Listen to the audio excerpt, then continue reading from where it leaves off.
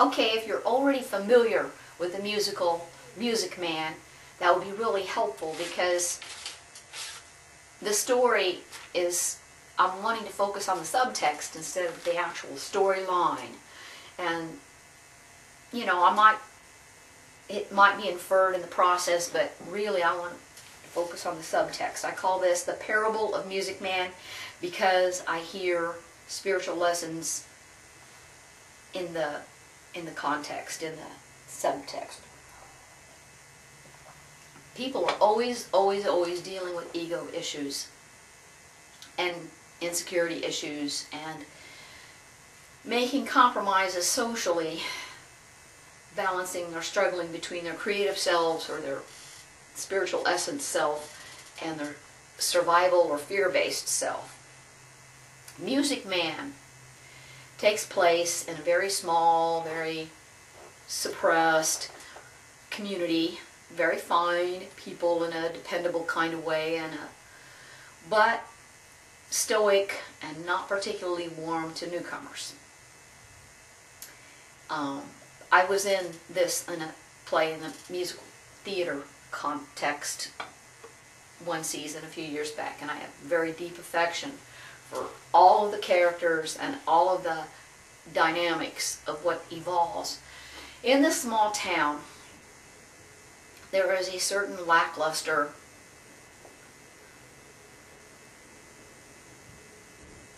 joylessness about them.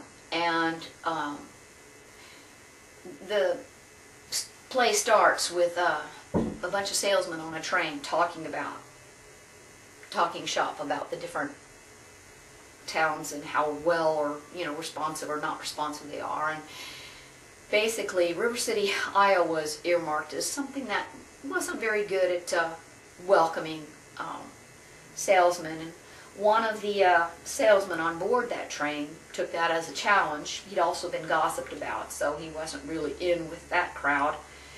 And um, enter Professor Harold Hill into River City, Iowa. He arrives, he's snubbed. He's trying to figure people out so he can get his angle on selling his musical instruments and basically making a profit and taking off. He runs across an old friend of his, Marcellus. Marcellus represents the piece of us that has a universal kind of empathy. He's in the in the story just someone who used to work with Harold Hill, but had settled down and married somebody in this town and just kind of taken on the persona and the values of that town. But he sees uh, Professor Harold Hill and gets real excited about him and helps him orient to who's who and what's what in the community. And he, Harold Hill is basically warned about Marian the librarian because she's the exceptional person and in that way she's going to be more astute than the rest. Um, truth of the matter is all of these characters represent either states of a person's own ego or what often happens in a community. You have the core members who pay a allegiance to conformity and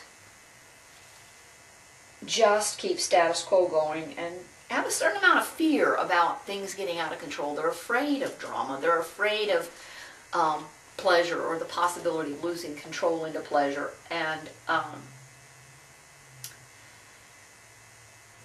Marian the librarian is actually a controversial person. She's in the community because of her mother, widow Paroo, and because she stayed and been loyal to taking care of her baby brother and, you know, compensating for the lack of a father figure in the house.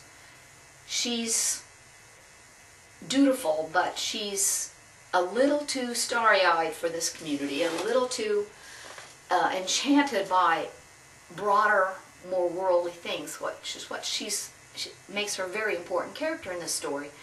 She is sort of like our spiritual essence that we are scared of because it's not conforming. It's digressing. It's you know being obtrusive. It's it's challenging and it's liking things without good reason. She loves books. She loves music. And the women, the pick a little ladies, pick a little, talk a little, pick a little, talk a little, cheep, cheep, cheep, talk a lot, pick a little more.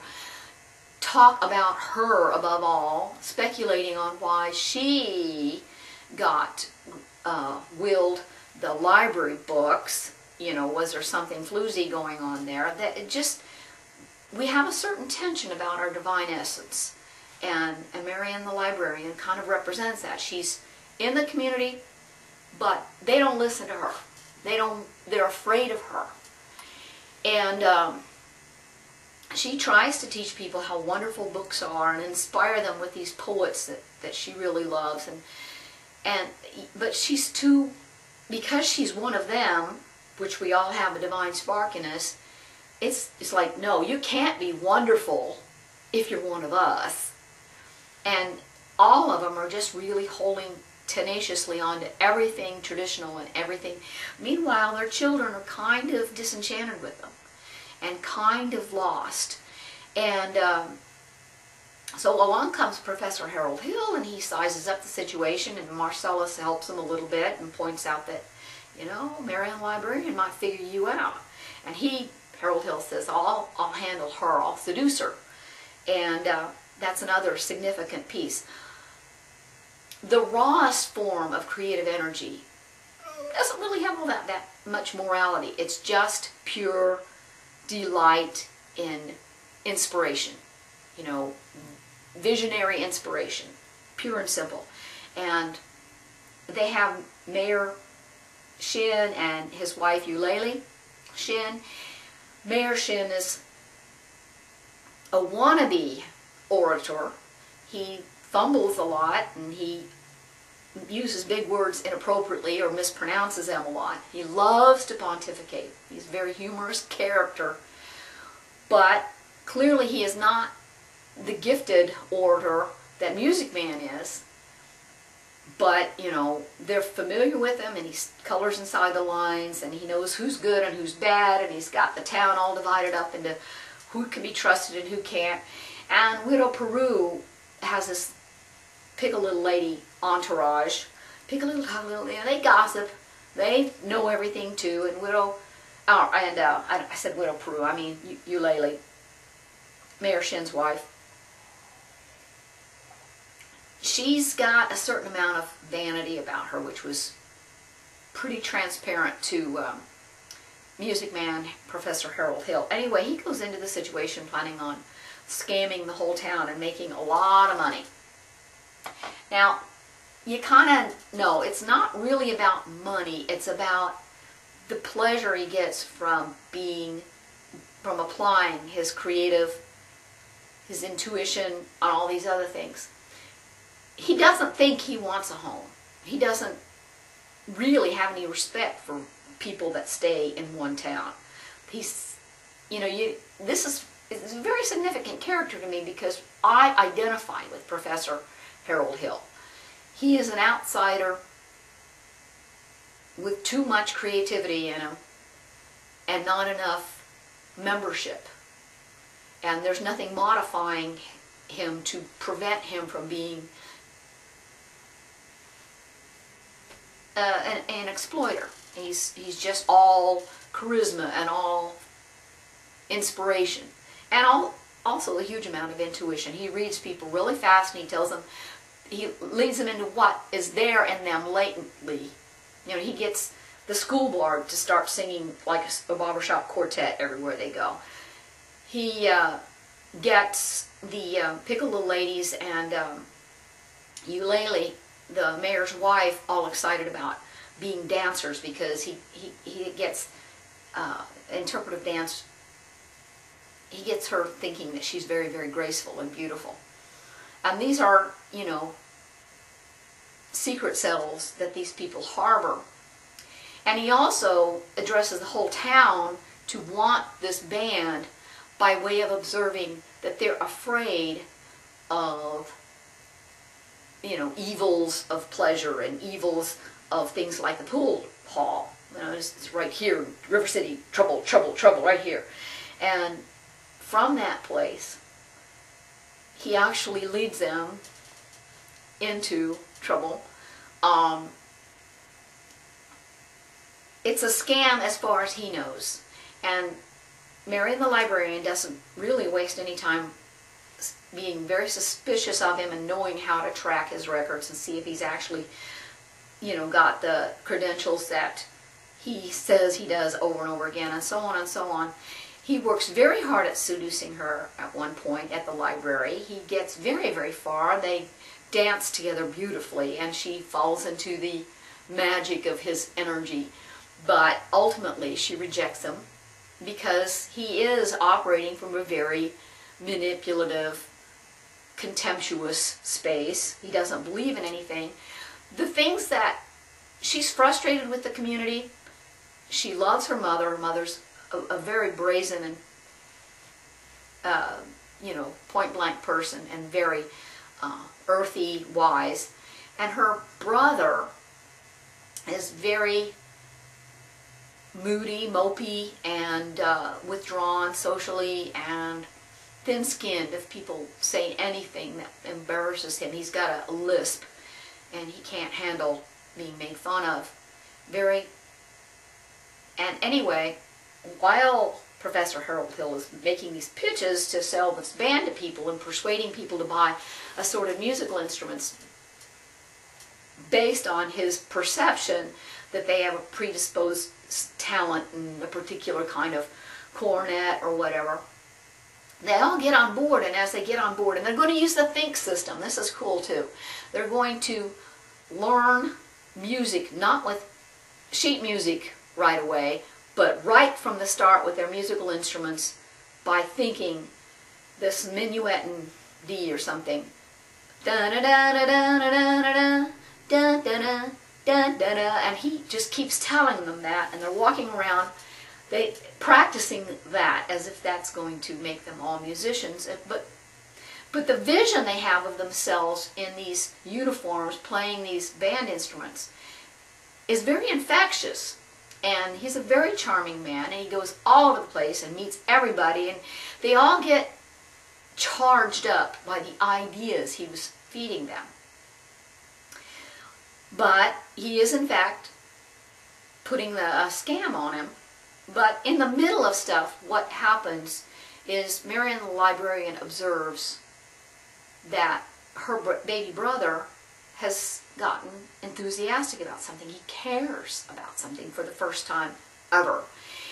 And so she, because she has this transcendent way about her, and she is representative of the divine within us, that's latent that we don't admit to, she um, says to herself, she realizes that even though Harold Hill doesn't intend or consciously know he's got a divine spark to him, that he's truly gifted and that he contributes in a substantial way to the community for inspiring them.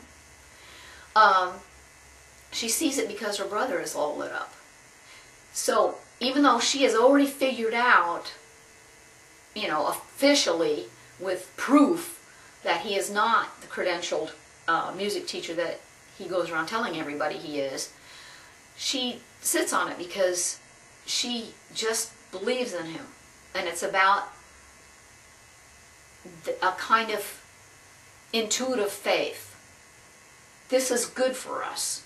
We need this. This is the same thing she's been trying to feed these people from get-go.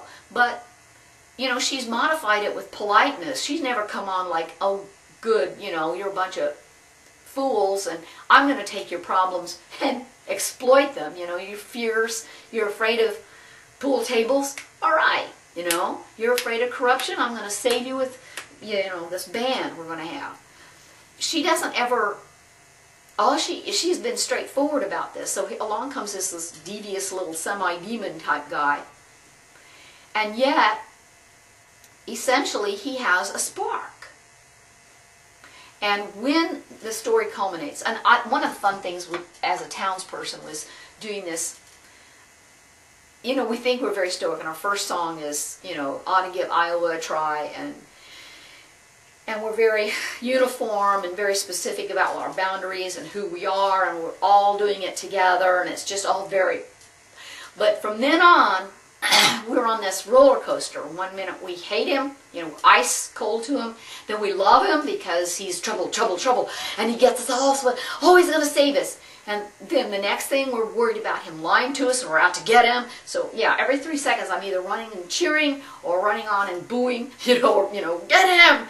And it's, it's a lot of fun in terms of the energy shifts and how infectious and terribly of one mind a community can get and not really have a clue.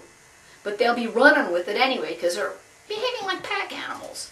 And these creative oddballs on the outskirts,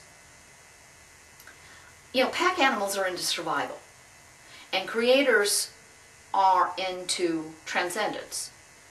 And especially Mary, the Marian the librarian gets it and she hasn't been listened to. But in comes this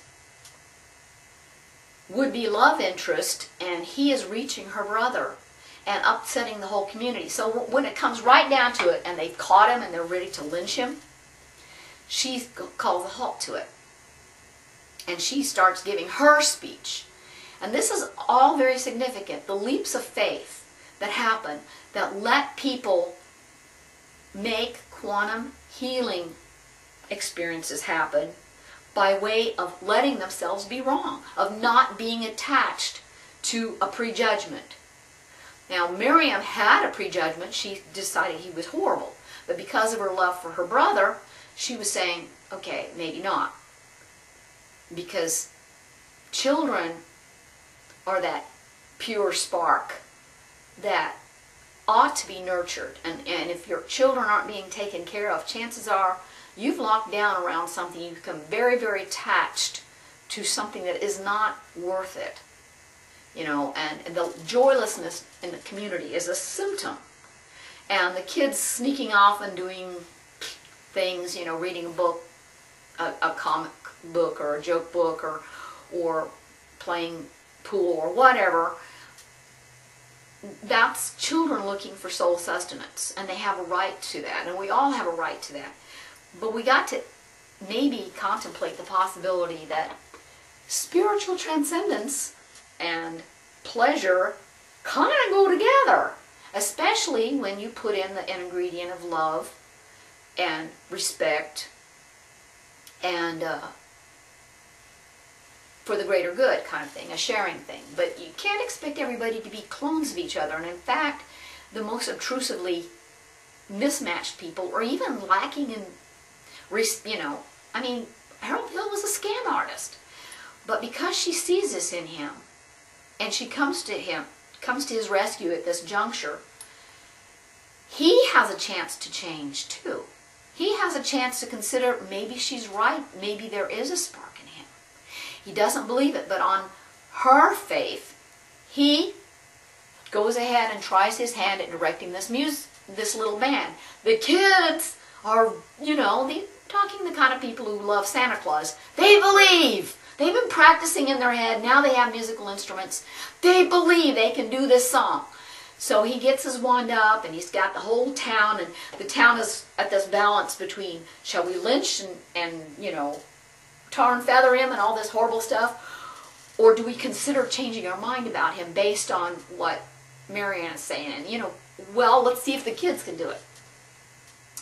So he gets his wand up there and he invests his faith. He at least tries. He goes through the motions. He says, you know, he, that's a sort of commitment to to take an action instead of saying, I scammed you all, you got me. You know, he's actually saying, I can be in relationship with you.